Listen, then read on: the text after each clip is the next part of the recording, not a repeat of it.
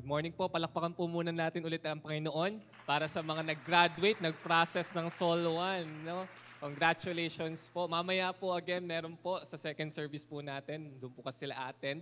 So meron po another batch na sa Sol 1 din po, graduate po sila doon. So natutuwa po tayo how God through even this time na kung saan there is a pandemic, ang Panginoon, tuloy-tuloy lang tayo sa ginagawa ng Panginoon on this church at natutuwa tayo. Many people are coming in at nababago ang buhay, binabago ang kaisipan ng Panginoon. So we praise God for that. Palakpakan po muna natin ulit ang Panginoon. God is so good sa atin. Yan. Good morning po. And welcome po sa atin nanonood online. We would like to welcome you. I do believe that God will work mightily in our hearts today po. Tayo po ay mag enter at mag introduce po tayo ng another series natin. We entitle this Think Again.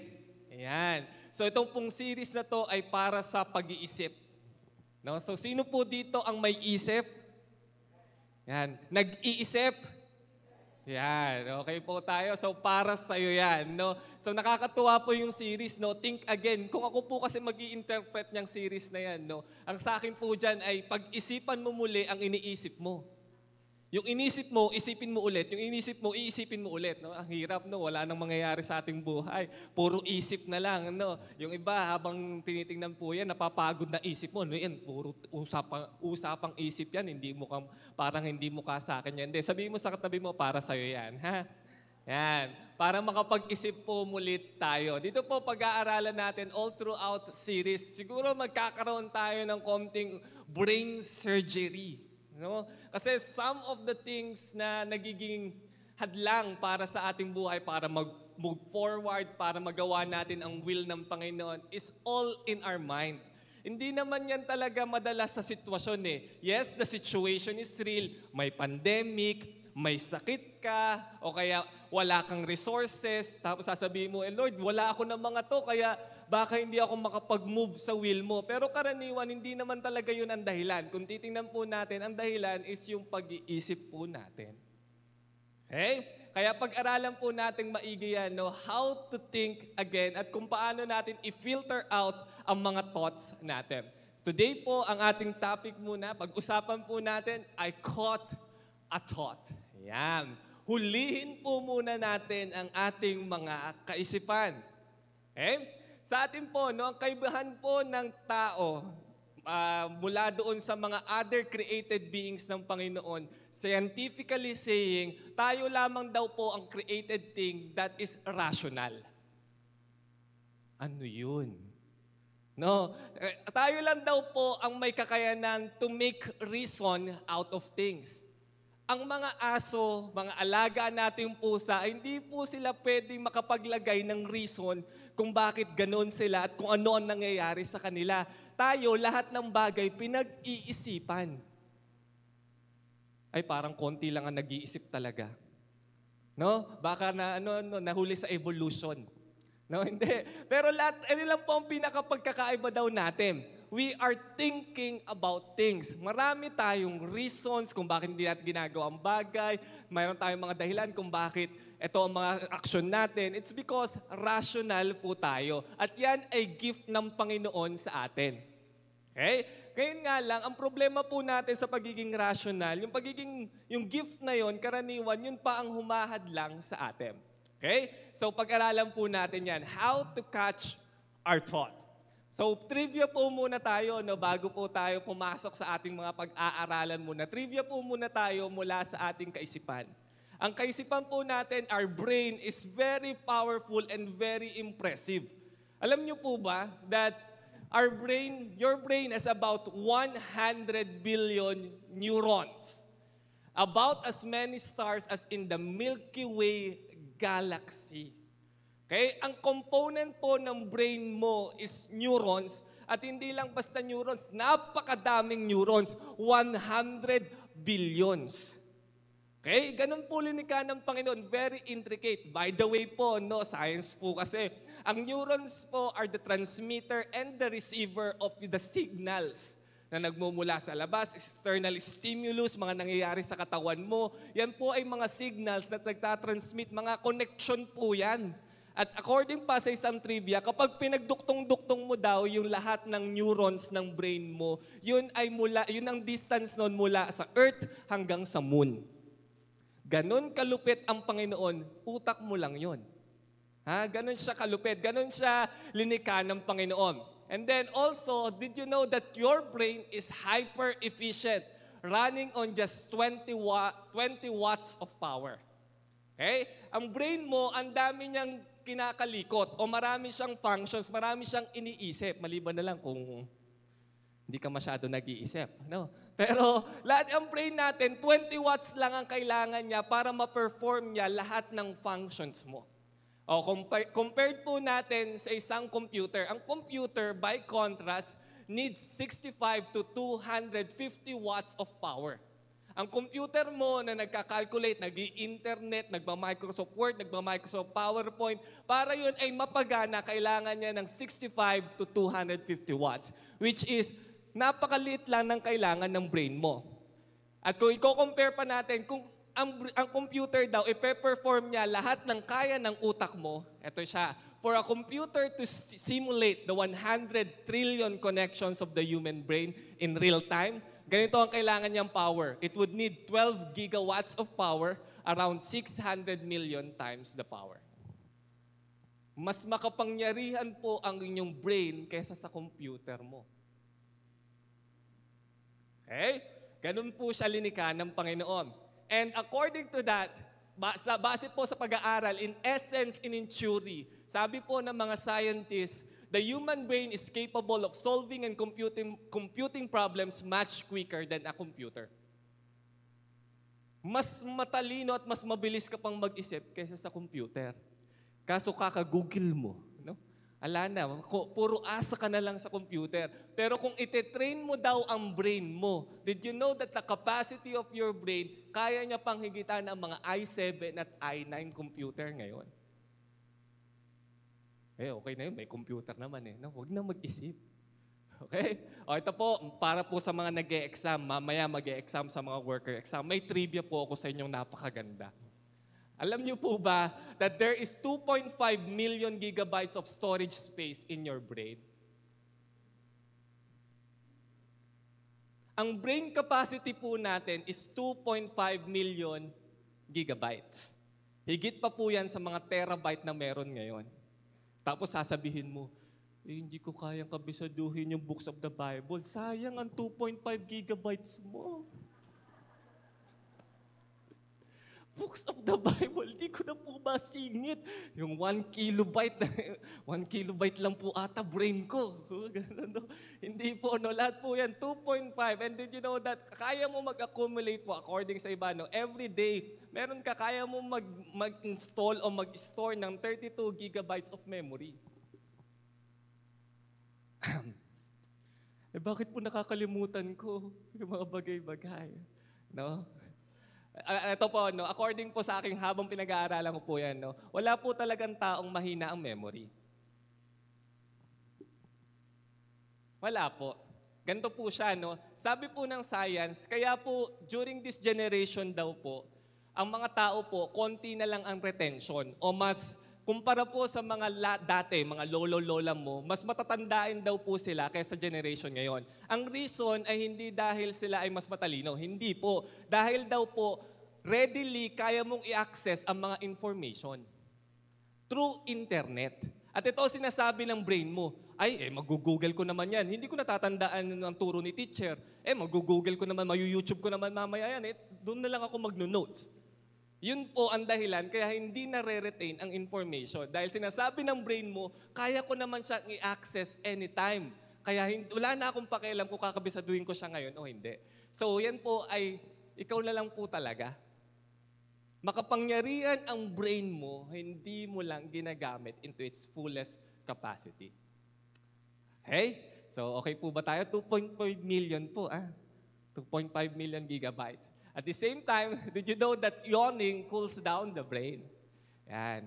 Kaya ngayon po, hindi na po ako galit sa mga naghihikab. Pagod na pagod pala ang utak. Ewan ko kung saan ginamit. Ha? Pero kapag naghikab pala, kapag hinikaban ka pala, Napagod ang utak. Kaya po alam nyo na, mga chismosa at chismosa sa mga nagkwekwentuhan. Kapag napahikab, ang dami mo ng kunwento, ang dami mo ng dinada. Hindi niya na ma- maano sa kanyang utak. Ano? Kaya hinihikaban ka. Ayan, no. Buti na lang naka-face mask tayo ngayon. Hindi ko nakikita yung humihikab. Ha? Hindi ka pala antok, no? Pagod lang utak mo. Di ko alam kung saan napagod ang utak mo. Ha? At the same time, ito daw po, Did you know that it is normal for your mind to wander or to daydream? Normal lang po pala na yung ating kaisipan ngayon, kausap mo ngayon, biglang matutulala.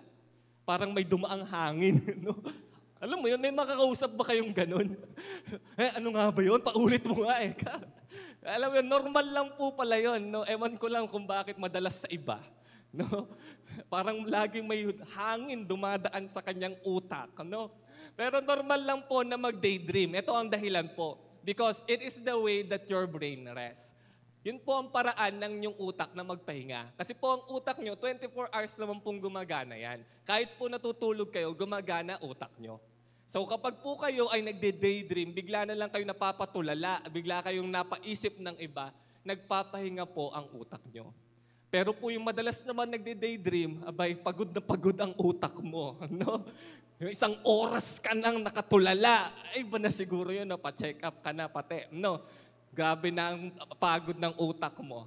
Okay? So, ganun lang po pala. Nakakatawa that our brain is so powerful, so magnificent, God-given, na kung saan it has a lot of capacity. And eto pa, isang truth na to, hindi na to basta fact lang, hindi lang basta trivia. Did you know that our life is always moving in the direction of our strongest thought. Ang buhay po natin, ang direksyon po kung bakit ganyan ang buhay mo, yan po ay dahilan ng mga thoughts mo. Ito po ang katotohanan mga kapatid, na ang buhay po natin ay hindi aksidente o coincidence. Na ikaw ay mataba ngayon insidente lang, gawa ng hormones, no? hormonal imbalance. Hindi po yon ang dahilan. Ang dahilan po dahil yan sa isip mo. Ang buhay natin, kaya po sabihin natin talunan. Kasi yun ang laman ng utak mo. Hindi po yan tadhana. Hindi po rin yan coincidence. Yan po ay resulta lamang ng strongest thoughts mo. Okay? Which means, wala pong mangyayari sa buhay mo na hindi mo muna pinag-isipan. Nothing happens in reality na bigla na lang naganap. Hindi po, pinag-isipan po yan. Okay? Ito na lang, oh, example na lang po. Wala ka po pong maririnig ng mga success stories na kung saan ang sasabihin nila, ang kanilang laging iniisip ay, magpe-fail ako, pa magiging palpak ang business ko, hindi na ako lalago. Walang ganong success story. Karaniwan, ang naririnig mo sa success story, pinagsumikapan ko, ilang taon akong nag-training, ilang taon kong tinitingnan na makukuha ko rin ang medalya. Yun ang laman ng kanilang kaisipan. Kaya tingnan nyo, si Hidilyn Diaz, di ba? Kahit na mag, ano yun, kapalan niya mukha niya, humingi ng sponsorship, okay lang sa kanya kasi nakikita niya, kaya niyang manalo ng medalya. Wala ka bang makikita na naging successful? Eh, yan lang, tadhana lamang.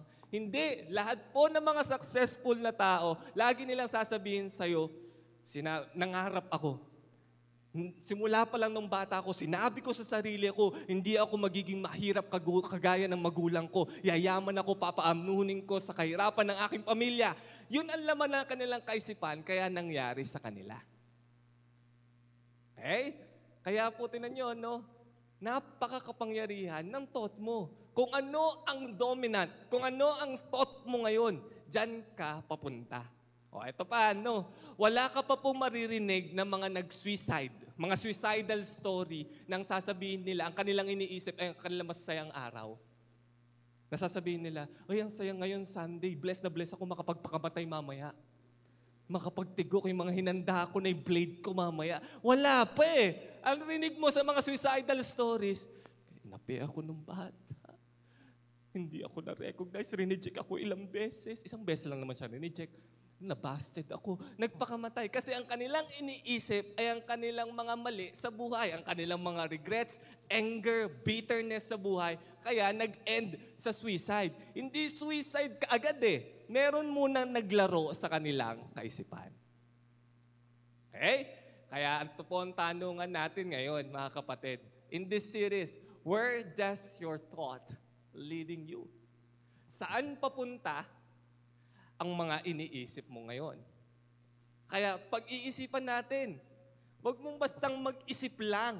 Tanungin mo sarili mo, saan ba patutungo itong iniisip ko? Eh ngayon, no, nag-iisip ka na, naku, hirap ng workers exam. Books, workers protocol. Hindi ata ako papasa. Huwag na lang kaya mag-worker, mag-backslide na lang kaya. Sasabihin mo naman, Amen, Amen. Yan mga iniisip mo, no? Titingnan mo kung saan siya papunta. Alam mo na na sinasabi ng isip mo, hindi mo kaya. Abay, wag ganon. Sabi mo, hindi, kakayanin natin yan. Ang problema po sa maraming Kristiyano, hindi linalabanan ang kanilang iniisip. Basta, ito yung nasa isip, lalo pang ini-entertain. Sige pa, Satan, bigyan mo pa ako ng dahilan kung bakit hindi ako dapat mag-serve. Oh, ganun, no? Alam mo yun, no? Ah, doon ka na papunta eh. Doon na nag-uumpisa yung thought mo, hindi mo pa linalabanan. Kaya po, habang tayo po ay may mga pumapasok na thought, tatanungin mo na sa sarili mo, itong naiisip ko na to, nagre-reklamo ako sa gobyerno, ito ba ay may pahahantungan? Post ako ngayon, sige, mag-post ako, reklamo ko sa gobyerno. Eh, mababago ba gobyerno kapag nag-post ako?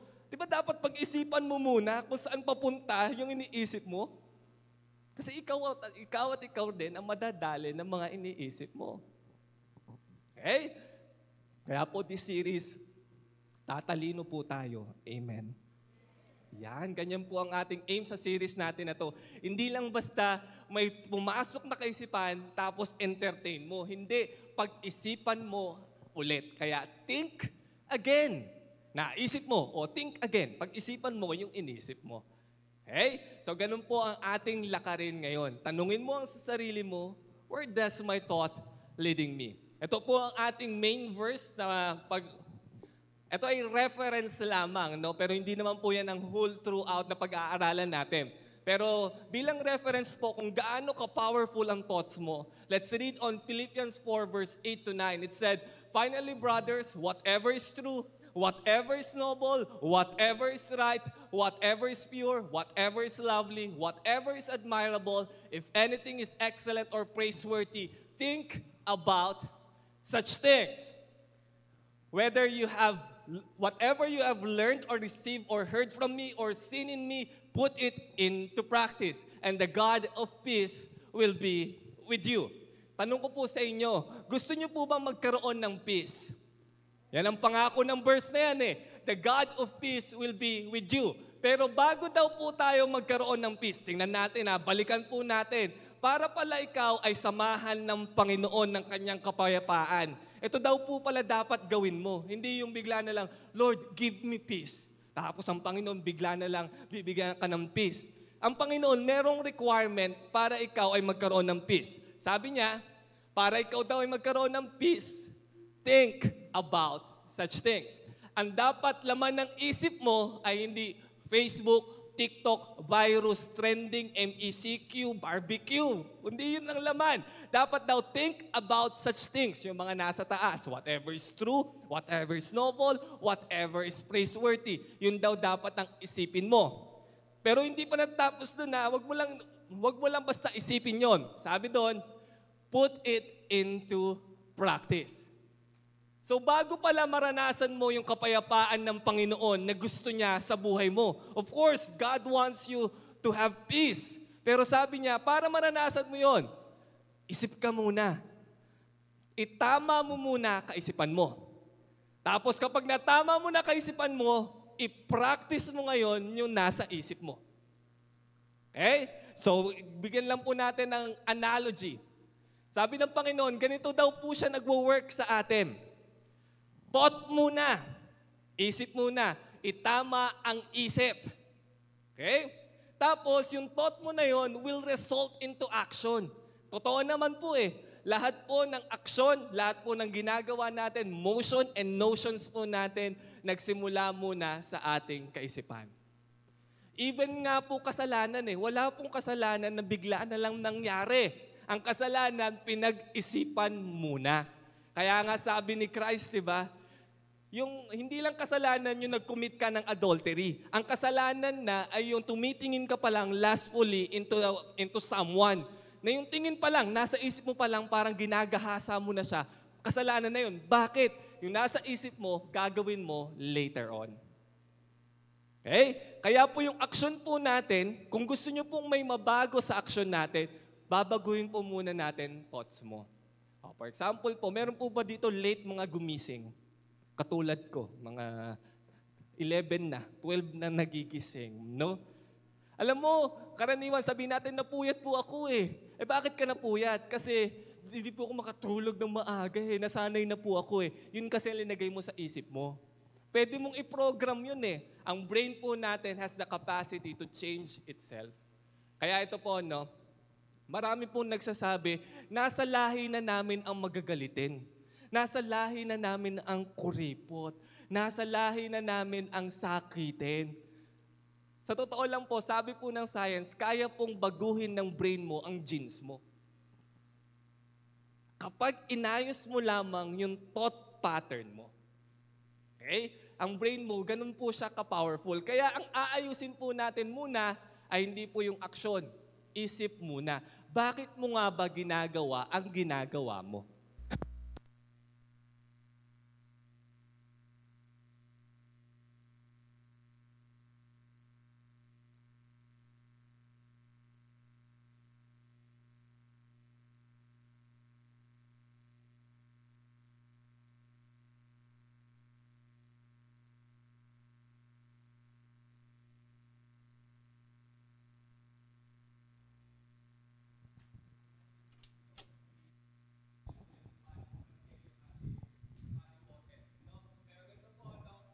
Yan, babalik po. Yan, po ng mic. Ayun! Ayan, ay, buti naman. No? Yung aking napakamahal na boses, eh, gininto ang boses, eh, mukha baka ka ako mapas.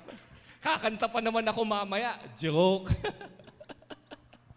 Alright. Balikan natin yun. Saan ba ako napunta? Wait lang, wait lang ah. Ano ba nangyari sa atin? Ayan, ayan na po ah.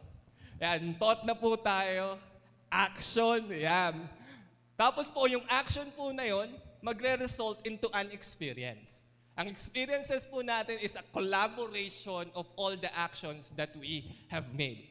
So ang Panginoon, para daw maranasan mo ang isang bagay, mag-uumpisa muna sa isip.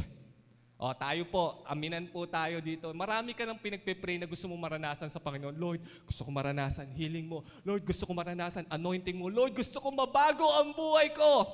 Sabi ng Panginoon, ayusin mo muna natin utak mo. Okay? So, sa Bible po, no, kasi nakakalito sa Bible, no, karaniwan kasi, syempre, kapag preaching, ang usapan ay puso. Puso, baguhin ang puso. Pero sa Bible po, synonymously po kasi, pinagpapalit po yun. Na yung heart at mind is karaniwan, halos magkapareho ng concept. Na ang Panginoon, para baguhin ang puso mo, He is also talking about your mind. Kaya ganun po sa Bible. Na kaya kapag mga pangako po ng Panginoon sa atin, gusto mo siyang maranasan, it will start with a thought.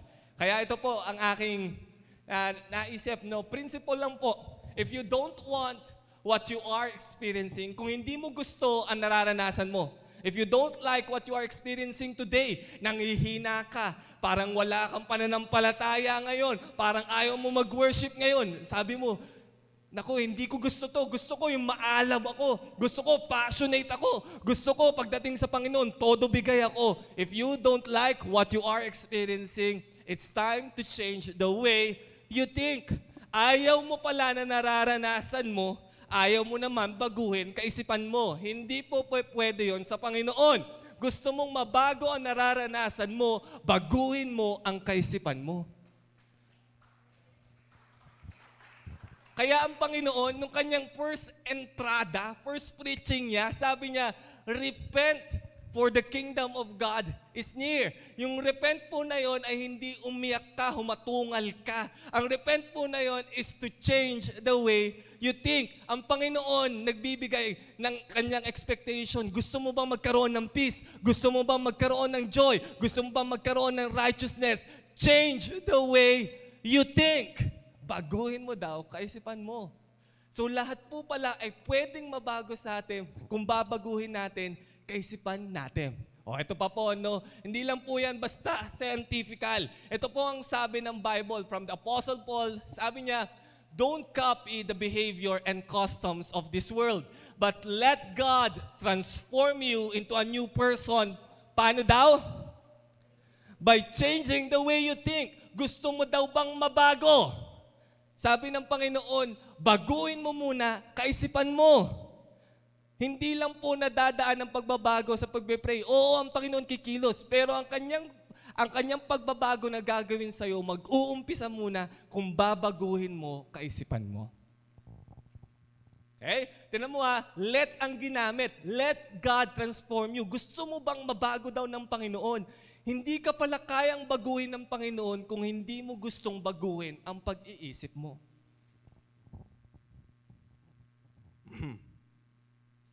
Sa atin, no, ang ating thinking is that, basta hingin ko sa Panginoon, gagawin niya eh. Pero ang Panginoon, para daw pala i-transform ka niya, paguhin mo muna kaisipan mo. Okay? And then he said, then you will learn to know God's will for you, which is good, pleasing, and perfect. Okay? Ang Panginoon, merong gustong iparanas sa'yo, His God's will, which is good, pleasing and perfect. Pero bago lahat daw mangyari lahat yon, yung gusto ng Panginoon mangyari sa buhay mo, kailangan mo na magbago isip mo. Okay?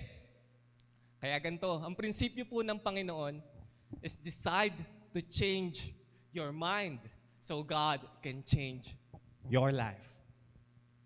Magdesisyon ka, baguhin ang isip mo at ang Panginoon babaguhin ang buhay mo. Nasa desisyon lang po pala natin, no? Ito po, no? Sa atin, marami po kayong maririnig pa na mga kahit na sabihin natin, believer na, matagal na, sasabihin sa'yo, eh, pastor, hindi ko mabitawan. Kahit malisan tao, hindi ko mabitawan. Eh, nagdesisyon ka nang hindi mo kaya eh, kaya hindi mo mabitawan. Eh ano pa masasabi mo? Hindi pa so pag-pray mo kung bitawan ko siya. Kahit anong pray ko sa'yo, ilihans kita, speaking tongues kita maghapon, hanggat hindi ka nagdidesisyon na bitawan, hindi mangyayari. Nasa iyo pa rin ang huling baraha. Ay ito po, no? Alam niyo po ba, isa sa bagay na hindi gagawin ng Panginoon para sa'yo? Ito lang po, alam po natin kayang gawin ng lahat ng Panginoon, lahat ng bagay. Pero meron isang, isang, isang bagay na hindi niya gagawin para sa'yo at yun ay baguhin ang, ang isip mo. He could never change your mind. Kung ang utak mo, ganito, ito ang kaisipan mo patungkol sa Kanya, hindi, hindi yan nadadala sa prayer. Kailangan niya na matinding bakbakan ng Panginoon. Decide to change your mind. Gusto mong mabago buhay mo? Desisyon ka ngayon. Lord, babaguhin ko takbo ng isip ko. Ito po, makwento lang. Kasi ngayon po eh, season po talaga ng ano eh, bar exam sa church eh. No, merong merong ano atmosphere sa church ng ano eh, scholarship ano eh, wisdom, no? Alam mo 'yon, no, lahat busy mag-review. Nakakatuwa po yung season na 'to, no. Higit pa nasa bar exam ang pressure eh, no. Alam mo 'yon, no. Ganun po ang datingan ng workers exam. Eh later on po, no. Meron po kasi mga humabol eh, isa sa tao ko humabol, no. Na gusto eh alam niyo po ba, eh, deadline eh, last week eh, pinakausapan. Ito, challenge ko sa kanya. Gusto mo ba talaga maglingkod? Ako, asar, naasar ako sa tao na to eh. Buti na lang, wala siya ngayon dito. Mamaya pa siya pupunta. No? Alam niyo, nakakaasar, no? Sinabi mo na yung deadline eh. Ganito ang araw, magdesisyon ka. Abay, hindi nagdesisyon. Tapos kalaunan, te-text ka, chat ka. Sir, gusto ko pa, pwede pa po bang humabol? Ay, kung kailan, no, talaga na naman. Ito, kaya ito po ginawa ko. Challenge ko sa kanya. Kung dito talaga eh. Ako po eh, hindi basta-basta lang ganun eh. Kung gusto mo, bibigay ko kagad sa'yo. Hindi, ganito sinabi ko. Kung gusto mo talaga, kausapin mo Pastor Reggie. Kung gusto mo talaga. Ha? Challenge ko po sa kanya yun eh. Kasi kung ako lang kakausapin mo, eh, talagang wala na eh. Kung gagawin mo pa, mag, mag ano ka pa, overboard, talagang papakita mo, desidido ka. Di kinausap naman po, okay na, na-open na yung link. Isang araw. Gabi nun eh. Sabi, magre-register na daw. Abay, chinat ako ni Pastor Tim. Hindi pa daw nagre-register.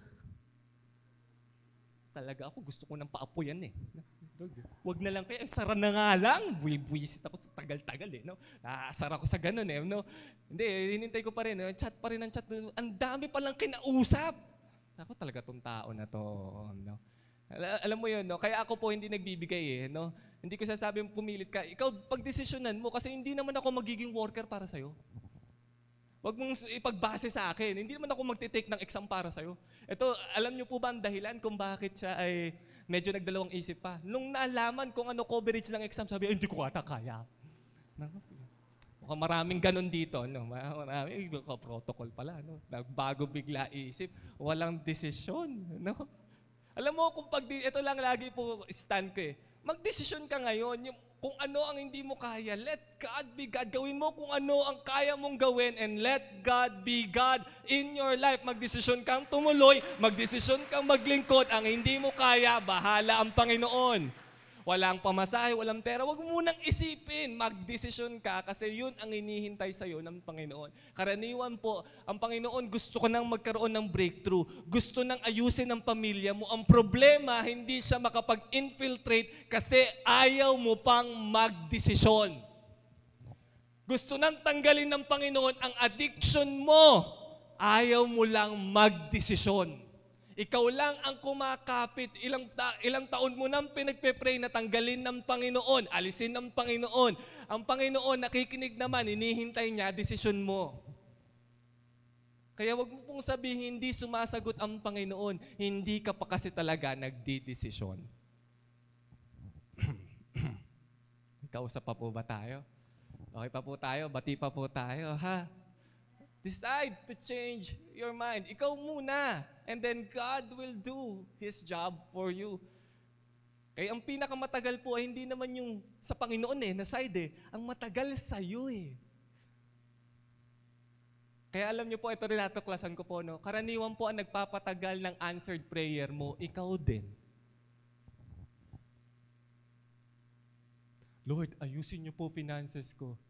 Eh sabi ng Panginoon, mag-decide ka muna mag-tithes. Lord, kailangan ba yun? Eh Lord, Old Testament lang yun ah. Oo, tinan mo. Ayaw mong baguhin isip mo. Kaya hindi magawa sa'yo ng Panginoon. Lord, I want a godly husband, godly wife. Eh, inaayos, naliligo ka na ba? Ikaw ba ay nag-aayos na?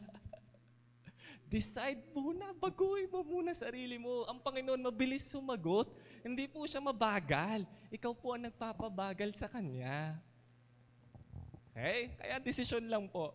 Uh, ito po, no? Alam po natin that the Bible is the Word of God. Though sabi ng iba, it only contains the Word of God. Ano, ito po ay, it's the Word of God. Okay? Yung word po na, yung word na ginagamit na yon, yung salitang word na yon, it come from the Greek word logos. Kaya po karaniwan kapag pinag-usapan po yung mga pastor mga nag-uusap, mga scholar, yan po ay logos. The Bible is the logos of God. At hindi lang po siya basta word. Yung salita lang. Hindi. Napakalalim po ng meaning ng word na logos. Ang word po na logos, ibig sabihin po niyan, principle. Ibig sabihin, ang Bible po pala ay prinsipyo ng Diyos.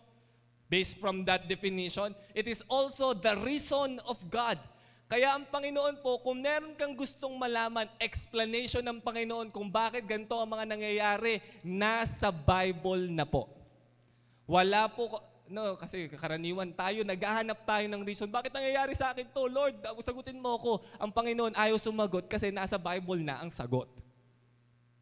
Okay? Reason niya po yan. At the same time, ito po nakakagulat. Ang word po na logos, ibig sabihin po niyan is the thought. It's the thought of God. So ang word of God or the Bible pala mismo ay thought ng Panginoon. Kaya ang sabi natin, no, only the Bible is the only book that could transform lives. Bakit? Kasi po pala ang Bible punong-puno ng mga kaisipan ng Panginoon na kayang magbago ng buhay mo. Kaya every time na nagbabasa ka ng Bible, ang Panginoon nagbibigay sa iyo ng another thought. Yan yung mga kaisipan na kumukontra kananiwan sa iyo. Kasi yung kaisipan natin kakaiba eh, no? Napakalayo ng kaisipan ng Diyos sa kaisipan natin. Kaya ang Panginoon naglalagay ng kanyang kaisipan kasi gusto niyang baguhin buhay mo. Hindi po yan basta, ito ang command ng Panginoon. Hindi, nagbibigay siya ng thought para ma-experience mo yung lahat ng kanyang mga promises on the Bible. So ang Panginoon po, nangungusap po pala sa atin through our thought. Okay? Thought to thought po pala. Kaya titinan po natin, no? Yung brain po natin, based from doon sa sinabi ko, ang Panginoon po pala nangungusap sa atin through our thought.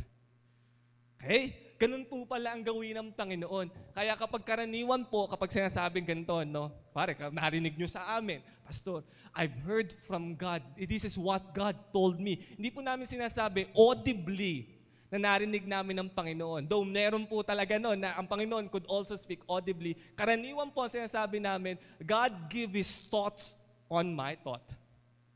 Okay? Nagbigay siya ng thought on my thought. Okay? That's what we are saying. At the same time, so ang Panginoon nangungusap po pala sa atin through our thought. At the same time po, ang kaaway nangungusap rin through our thought. So sa ating kaisipan po, dalawa po pala yan. Na ang Panginoon, ginagamit yan para kausapin ka, ayusin ang buhay mo. At the same time, ginagamit rin yan ng kaaway para sirain ang buhay mo. Nasa iyo na lang kung ano ang pakikinggan mo. Kaya hindi po pwedeng dumaan lang sa iyo ang kaisipan ng Panginoon. Ang ganda-ganda nun, na-feel ko ang salita ng Panginoon, ang kanyang pangako. Hindi, kailangan mong i-capture ang thought. Kailangan mong huliin ang thought ng Panginoon kasi ang kaaway, ang demonyo, magsasalita din sa buhay mo. O, ganito po, ganito po nangyayari dyan. Ang demonyo, sasabihin sa iyo, you will never change. Di ka na magbabago, tagal mo na sa church, ang dami mo nang nabasa, ganyan ka pa din, chismosa ka pa din, ikaw pa rin, papost ka pa rin, reklamador ka pa rin, ako, ganyan ka pa rin, adik ka pa rin, hindi ka na magbabago. Yan. Yan po ang boses ng kaaway. Eh, ine-entertain mo. Hindi na nga ako magbabago kasi oh, ilang beses ko nang tinry mag-diet. Wala pa talaga. Hindi na magbabago figure ko. Ilang beses ko nang sinabi nilagay sa resolution, diet now, diet now, diet now. Wala, wala pa rin. No, hindi ka na magbabago, sasabi ng kaaway. Pero at the same time, sinasabi ng Panginoon on the other side that you are a new creation nasabi ng kaaway, hindi ka na magbabago, pero sinabi ng Panginoon sa kanyang salita, the old has gone, the new creation has come. Bagong nilalang ka na, nagbago ka na dahil sa Panginoon. Ang problema natin, kinakatch natin ang thought ng kaaway, kaya hindi nangyayari ang sinasabi ng Panginoon sa'yo. Oo, mukha kang hindi new creation, para kang alien, para kang, ano nun, uh, parang hindi talaga nagbago, parang gawin pa rin ang buhay mo. Kaaway po nagsasalita sa iyo noon. Huwag mong pakinggan. Sabi ng Panginoon, maniwala ka kahit parang hindi nakikita ang pagbabago sa buhay mo. Sabi niya, nung tinanggap mo siya sa buhay mo, nagbago ka na, new creation ka na. Yun ang i-catch mo. Huliin mo ang thought ng Panginoon. Hindi ang thought ng kaaway. Ito pa, sasabihin sa iyo ng kaaway, You will never accomplish anything. Wala kang mararating sa buhay mo. Ikaw, hindi ka nagtapos. Ako, mahiyain ka, mahina ka, hindi, man, hindi, ka, hindi ka katulad ng kapatid mo. Wala kang mararating sa buhay mo. Pero sinasabi sa iyo ng Panginoon today, you can do all things through Christ. Hindi ka walang mararating. Kayang-kaya mo ang lahat ng mga pagdadaanan mo dahil kasama mo ang Panginoon sa buhay mo. It plays on your thought. Lagi yan nag-aagawan sa buhay mo na ngayon, meron kang ginagawa, nagpo-progress ka, sabi, hindi, hindi mo yan matatapos, hindi you cannot finish that, hindi ka magiging successful, hindi ka matatanggap dyan. Pero at the same time, ang Panginoon nangungusap sa'yo. Ano ang pinakikinggan mo sa buhay mo? Don't entertain the devil's thoughts.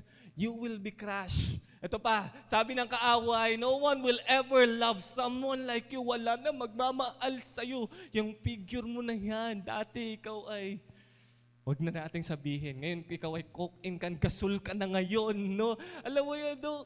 Wala na magmamahal sa'yo. Puro ka na, hindi ka na maganda. Na, mata na lang maganda sa'yo kasi ngayon naka-face mask tayo. Alam mo wala na magmamahal sa'yo. Ala, pasaway ka. Nako, ala na. Wala na magtsatsaga sa'yo. Pero sabi ng Panginoon, you are loved. Christ died for you. Ikaw ay mahal ng Panginoon. Kahit hindi ka mahal ng ibang tao, ang Panginoon, Heso Kristo, mahal na mahal ka at namatay siya para sa'yo. These are the thoughts that is battling on your mind every now and then. Bakit? Bakit sila nag-aagawan sa utak mo? Kasi kung sino ang mananalo sa kanila, yun ang mangyayari sa buhay mo. Kung sino ang mas magiging mas matatag sa kanila, kung sino ang mas pakikinggan mo, yun ang mangyayari sa'yo. It will always start with a thought. Kaya dapat pag-isipan mo, ito bang nasa isip ko, eh, sa demonyo ba to? Karaniwan, ito po kasi inisip natin, no? Gina-justify mo kasi yun ang nakikita mo. Ang Panginoon, kaya nga ito po, dun papasok ang faith. Nang sinasabi sa iyo ng Panginoon, parang hindi ka panipaniwala. Kaya nga, para makapture mo ang thought ng Panginoon, sasamahan mo ng pananampalataya. Oo, mukhang hindi nga ako, hindi nga ako ganun kagustuhin. Pero sabi ng Panginoon eh, sasamahan ko ng pananampalataya. That's how you catch the thought of God. Kaya ang faith po, hindi lang pinapaganap kapag may pangangailangan ka. Ang pananampalataya, pinapagana mo every time na ang Panginoon nagbabato ng thoughts sa'yo. Kasi ang mga thoughts ng Panginoon, talagang hindi ka panipanawala sa umpisa. Kaya nga, kailangan mong i-capture by faith. Amen ba? I do believe God is speaking to you every day. Ang kailangan na lang sa'yo ng Panginoon, hulihin ang kanyang kaisipan para sa'yo. Ganyan po lagi ang ating kaisipan. Araw-araw, it's a battlefield. Kaya nga po, life is won or lost on the battlefield of the mind. Ang laban po ng buhay ay lagi nag-uumpisa sa isip. Hindi po muna sa mga sitwasyon. Alam ko po meron tayong iba't ibang sitwasyon. But what we are saying to you is that kung mananalo ka sa iyong kaisipan, kaya mong panalunin lahat ng laban mo sa buhay. Kahit gaano pa yan kahirap, if you capture the thoughts of God in you, you will win in life because God is a victorious God and God is a winner. At yun ka rin dahil anak ka niya. You are meant to win. You are meant to reign in life. Kailangan nga lang po nakipagbakbakan sa kaisipan natin.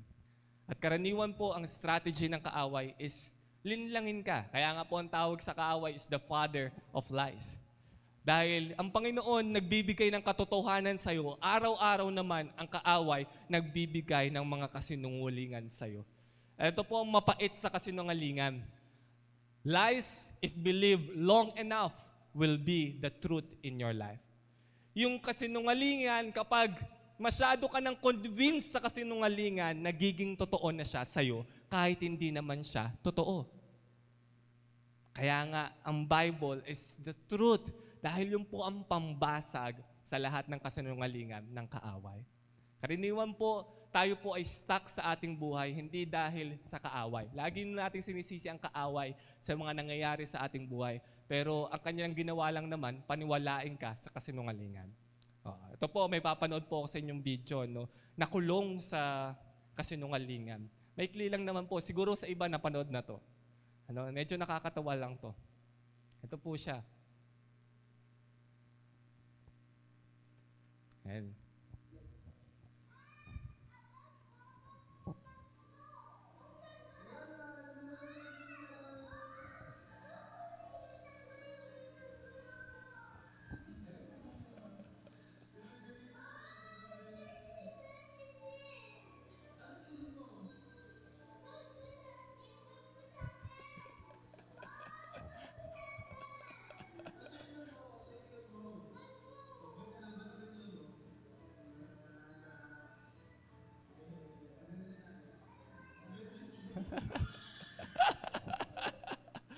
Po yan, no? yung bata, linuloko, no? Lalo kayo, kapatid niya siguro no?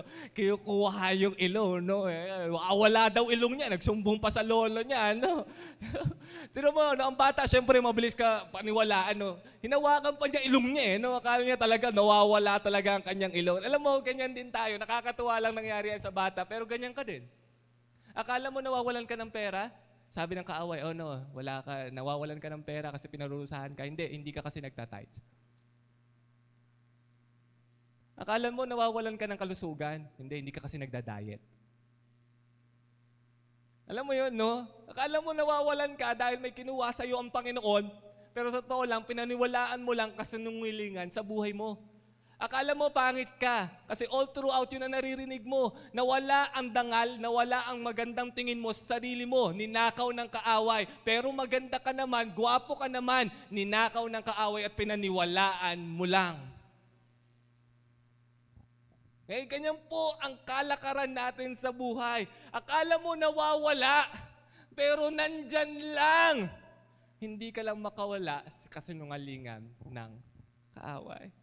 Alam mo, gaganda talaga ang buhay mo, aasenso ka eh. Akala mo ganyan lang ang buhay mo, pinaniwalaan mo lang kasinungalingan ng kaaway, but I am declaring to you today, our God is a God of prosperity. Our God is a God that will give you everything that you need in your life. You will be successful. Huwag mong paniwalaan yung mga nawawala sa'yo. Andyan lang yan. Hindi kayang agawin ng kaaway lahat ng prepare sa'yo ng Panginoon. Ito po ang idea sa atin. No? Sabi ng Panginoon, lagi kang humaharap sa ganyan, mga sitwasyon. Pinapaniwala ka ng kaaway na meron siyang kinuha sa'yo, pero nandyan lang naman siya sa'yo. Akala, akala ng Akala mo na wala na kaligayahan mo. Akala mo na wala na passion mo. Akala mo na wala na ang amor mo sa Panginoon. Hindi. Pinapaniwala ka lang. Kaya ito ang sabi ni Apostle Paul, ito daw ang gawin mo. You demolish arguments and every pretension that set itself up against the knowledge of God. And we take captive every thought to make it obedient to Christ. Lahat daw ng mga iniisip mo na hindi yan ang sinabi ng Panginoon, ang gawin mo daw, you catch the thought, you get the thought, at gawin mong captive, obedient to Christ. Huhuliin mo lahat ng mga iniisip mo. Huwag mo lang padaanin. Don't let it stay in your mind. Catch the thought that is setting itself up against the knowledge of God at gawin mong obedient to Christ. That's how you fight the battle of the mind. Hindi yung hayaan mo lang mag-speak sa'yo ang kaaway. Hindi. Kunin mo ang sinasabi ng kaaway at tanggalin mo sa pamamagitan ng salita ng Panginoon. Kukontrahin mo, wag mong i-entertain. Labanan mo lahat ng mga sinasabi at binabato sa iyo ng kaaway. O ito po, no? Alam po natin, karaniwan po, no? Alam po, the 12 spies na sinend po ni Moses to spy out the promised land. Diba po, andyan na sila eh. Malapit na sila. Isang kembot na lang, promised land na sila. Sabi ni Moses, o bago tayo pumunta doon sa promised land, magsisend ako ng 12 spies. Okay? Kasama po dyan sila Caleb and Joshua. Nag-spy out po. Tapos po, nakita nila na yung lugar nila, grabe, flowing with milk and honey talaga. Yung ubas, napakalaki. Kasing laki ng pakwan. Ganun daw po ang ang nakita nila sa promised land. Kaso, sabi nung 10 spies, yung sampu dun sa, sampu dun sa pinadala, oo, maganda yung lupa, maganda yung pangako ng Panginoon. Kaso, merong mga giants. Kaso merong mga nakatira doon eh, mga warriors, mga malalaki ang katawan, may mga abs, mga malalaki, hindi natin sila kaya. Kaya, nagsabi sila ng mga bagay na hindi nila gusto doon sa promised land. Okay? Ito po tanong ko sa inyo. Sila ba eh nasukat ba talaga nila ang lakas ng kanilang kaaway? Nag-spy lang sila eh. Uh, alam niyo po ang trabaho ng spy? Di ba hindi magpahuli? Siyempre, tingin-tingin ka lang eh. Kapag na, medyo suspicious ka na, siyempre, alam mo yan eh, kailangan hindi ka ma-detect ng kaaway. So wala silang time para makipagbuno ay ito, eh, parang Manny Pacquiao sumuntok. Wala naman po silang ganun eh. Sila nakita lang, oh malaki. Pero hindi naman talaga nila nasukat ang lakas. Kasi hindi naman nila nasubukan eh. Parang ikaw lang, no? Sabi mo, mahirap exam. Hindi mo pa naman natatry eh. Mamaya pa lang. Sasabi mo kagad mahirap. Wala pa. Wala pa tayo. Nagre-review ko pa lang. Wala pa exam. Wala pa nagche-check. Wala pa. Masyado kang, masyado kang nervyoso. Mamaya pa lang yun eh. Iniisip mo na kagad, mahirap. Wala pa naman din pa na nakita mo na ba? Hindi pa. Ganon din po sila eh. Nag-spy out ng lupa. Hindi naman sila nakipagsuntukan doon. Hindi naman sila nakipag-weightlifting doon kung sino mas malakas sa kanila. Pero inassess na kagad nila sa kanilang kaisipan, mas malakas to kaysa sa amin. Eh nakita pa lang naman nila. Kaya ito naman, buti naman, si Caleb at si Joshua, eh, iba naman ang kanilang pananaw. Then Caleb silenced the people before Moses and said, We should go up and take possession of the land, for we can certainly do it. Okay? Si etong kaisipan ni Caleb, yung sampo, malakas yan. Pero sabi niya, malaki, pero kaya natin yan. Parehas na nakita, iba ng nasa isip. Yung isa, mahina tayo, malaki sila. Yung isa, okay lang yan, malaki sila, pero kaya natin sila. Ito naman, sabi ng sampo, but the men who had gone up with him, yung sampu po, we can attack those people. They are stronger than we are. Si Caleb, ang isip, kaya natin. Yung sampo, ang isip, mas malakas sila. Pare-parehas na nakita, iba nang dumating sa isip. Iba ang na-capture na thought. Ganyan din po tayo eh. May sitwasyon ka sa buhay mo, yung iba, iba-iba tayo ng sitwasyon, pero yung mga pinagdadaan natin, walang pera, may isa walang makukunan. Yung isa, walang pera, hindi, pero tuloy sa Panginoon. Okay, Lord, mahina ang katawan, pero Lord, sige, maglilingkod pa rin. Hindi yung isa, mahina, matanda na kami, hindi na kami para dyan. Alam mo yun, no? Iba't iba po sitwasyon. Parehas lang naman na nakikita ang scenery, pero iba-iba ng pag-capture ng thought. Ito po ang masama. They spread, yung sampu po, they spread among the Israelites a bad report about the land they had explored. Sa palagay nyo po, no, for example po sa congregation na to, andito yung 12 spies. Sampu ang nagsabi sa inyong hindi nyo kaya, dalawa lang ang nagsabi na kaya natin. Sino ang paniniwalaan nyo? Sino ang mas credible? Yung sampu, di ba? Yung mas marami sila eh. eh. siguro ito, nabuwang lang. Siguro hindi talaga sumama yung dalawa. Noon, nag-spy out. Eh, sampu sila, mas marami sila eh. Eh, kaya mas mabilis na paniwala. They said, the land we explored devours those living in it all the people we saw there are of great size. Yun ang kanilang sinabi. We saw the Nephilim there, the descendants of Enoch came from the Nephilim. We seemed like grasshoppers in our own eyes and we looked the same to them. Yun ang kanilang sinabi. Hindi natin kaya para lang tayong tipaklong sa kanila. Titirisin lang nila tayo. And the next verse, yung next chapter po, nagreklamo na, nagwelga na, Moses, ba't mo pa kami dinala dito? Ang tanong po, yung mga nasa congregation po, yung mga nasa Israelites, nakita po ba talaga nila yung mga giants? Hello po, nag-iisip. May kausap po ba ako dito? Nakita po ba ng congregation na Israelites, yung mga hindi naman sumama, nakita po ba nila yung giants? Hindi naman eh. Ang nakita lang nila, lang narinig nila, report lang. So ang pumasok sa kanila, hindi naman image, hindi, hindi po nila nakita ang actual image ng giant, but they capture a thought. They caught a thought, and that thought is a bad report. Kaya po yung whole generation po na yon, hindi nakapasok sa giant, sa promised land. Here's what I found out. It is not the giant that will stop you to enter the promised land. It is not. Hindi po giant ang kalaban mo. Hindi pa nga nila nakikita, hindi pa nga nila na-assess ang strength ng kanilang giant. Sila nagreklamo na, Lord, bakit pinapadala mo pa kami dito? Bakit ito pa gusto mong mangyari sa amin? Dapat namatay na lang kami doon. Hindi mo pa nga nasasagupa yung giant eh. Sasabihin mo na hindi mo kaya. So hindi mo, hindi giant ang problema mo. Hindi yan na nagpapahinto sa'yo para maranasan mo ang promise ng Panginoon sa buhay mo. It is your thought. Hindi giant, hindi problema ang problema mo, hindi suliranin ang problema mo, hindi pera ang problema mo. Ang problema mo, isip mo. Ang problema mo, ang iniisip mo, hindi mo kaya, hindi mo kaya ang slay ang giants mo. Ang Panginoon, ang daming pangako sa buhay mo. Pero hindi ka niya mapapasok sa pangako niya dahil sa isip mo. Those giants will fell before your God. Pero ngayon, nangangatog ka na.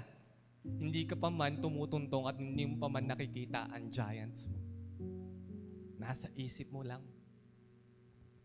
You know, that's how powerful your mind is. If you think like a champion, you will be one. If you think you can through God, you can. Because whatever you believe in, God will do it to you. I found out that's the trick of the enemy. Sasabihin niya, hindi para sa iyo yan. Hindi ka karapat dapat sa Panginoon. Patapon ang buhay mo. Kinakapture mo, kinukuha mo ang thought ng kaaway instead the thought of God. Well, that's his job. Sabi nga sa Proverbs, Men, do not despise a thief if he steals to satisfy his hunger when he is starving. Ito wisdom ni Solomon, no? Huwag mo daw laging sisihin ang kaaway kung siya ay nagnanakaw sa'yo. Huwag kang mag-despise ng thief. Eh, ikaw lagi mo sinisisi ang kaaway. Alam mo namang dorobo eh. Alam mo namang taga-tukso eh. Alam mo namang accuser eh. Galit na galit ka pa sa kanya, eh trabaho niya nga yun. Kaya siya nagnanakaw, eh talaga magnanakaw siya. Kaya siya nag-accuse kasi accuser talaga siya. So do not despise. Ginagawa niya kung sino siya. Huwag kang masyadong nag-dwell on blaming the devil over your life. Ito daw ang gawin mo. Yet, when he is caught, ang gawin mo, wag mo wag mong i-blame ang kaaway. Huliin mo ang kaaway sa buhay mo. Huliin mo ang lahat ng sinasabi niya sa iyo. Capture the thief in your life. Capture the thief of joy. Capture the thief of your purpose. Capture the thief of your passion. At kapag nakuha mo na ang kaaway, kapag nahuli mo na ang style ng kaaway, He must pay sevenfold in your life. Lahat na ninakaw ng kaaway sa'yo, He will pay back seven times in your life kapag nahuli mo siya. Ang kailangan mo ay hindi i-rebuke ng i-rebuke ang kaaway. Ang kailangan mo, hulihin mo siya at ibabalik niya ang nararapat sa iyo. He will bring back the joy into your life again. He will bring back the peace that you have lost. He will bring back the relationship that have been lost in your life and He will pay it back sevenfold. Ang kaaway, hindi kanya kayang pigilan on the promised land. Pinahihinto ka niya ngayon. Pero hulihin mo. Huwag kang magpadala sa kanyang mga sinasabi sa iyo. Catch the thought of God and capture the thought of the devil and reign in your life. That's the strategy of the Bible. You are not weaponless. Binigyan ka ng Panginoon ng kanyang salita para atakihin lahat ng mga sinasabi ng kaaway sa iyo. Kaya mga kapatid, in this series, let us think again. Pag-isipan natin kung saan nga ba papunta ang ating mga iniisip. Father in heaven, we would like to thank you.